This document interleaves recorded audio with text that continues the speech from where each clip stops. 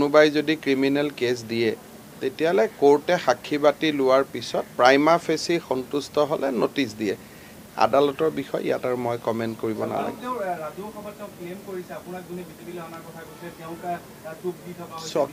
চাওক এই ধৰণৰ কথা কৈ নিজৰ ভেলু বঢ়াব গৈতো লাভ নাই। হয় নহয়? গতিকে যোনে তোনে এতিয়া আপুনিও ক'ব পাৰিব আপোনাক টাইমছ অফ ইণ্ডিয়াই মাতিছে বুলি কালি।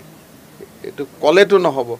আপুনি তাতে গৈ পাব লাগিব। গতিকে সেই ধৰণৰ কথা বতৰা নালাগে আৰু আজি মোৰ পলিটিকেল কথা কোৱা বৰ বেছি মই মুদতো নাই।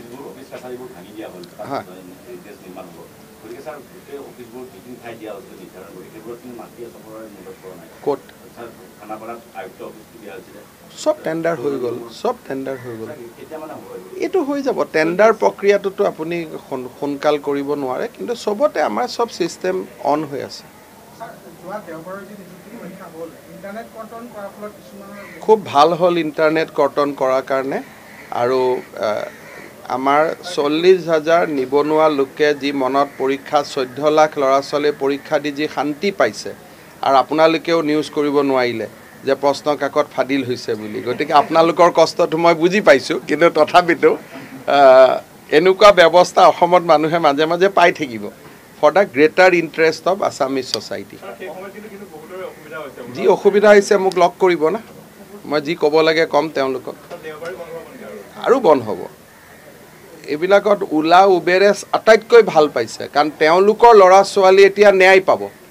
নহ'লে ডাঙৰ ডাঙৰ মানুহৰ ল'ৰা ছোৱালীয়ে চাকৰি পালেহেঁতেন ওলা উবেৰে মোক আশীৰ্বাদ দি আছে যে এতিয়া অন্তত আমাৰ ল'ৰা ছোৱালীয়ে চাকৰি পাব। আপোনালোকে এইটো কিয় ধৰি লৈছে যে ওলা উবেৰে অকল ওলা উবেৰে কৰে? তেওঁলোকৰ ল'ৰা ছোৱালীয়েওতো চাকৰিত পৰীক্ষা দিছে। সেইকাৰণে অলপ আপোনালোকৰ এজেণ্ডাত আমি নচলিম আমাৰ এজেণ্ডাত আমি চলিম।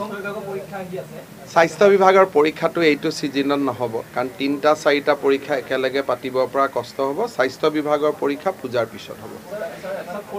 চবত আমি ইণ্টাৰনেটৰ ব্যৱস্থা লৈছোঁ ফ'ৰ্থ গ্ৰেড থাৰ্ড গ্ৰেড কাৰণ তাতে ত্ৰিছ হাজাৰ পোষ্ট কিন্তু য'ত পাঁচশ পোষ্ট দুশ পোষ্ট তাতে আমি ইমান ষ্ট্ৰিক হ'ব নালাগে। অকল এই দুটা পৰীক্ষাতে আমি ষ্ট্ৰিক হ'ব লাগে।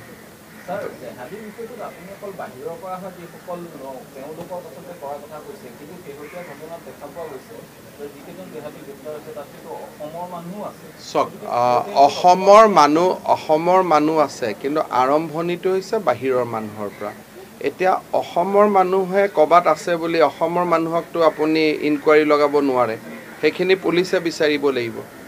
আপুনি যদি অসমৰ মানুহক কয় যে প্ৰত্যেক দিনা অমুকত যাওঁতে থানাত এণ্ট্ৰি দিব লাগিব সেইটোতো অসমৰ মানুহৰ ক্ষেত্ৰত আপুনি কৰিব নোৱাৰে।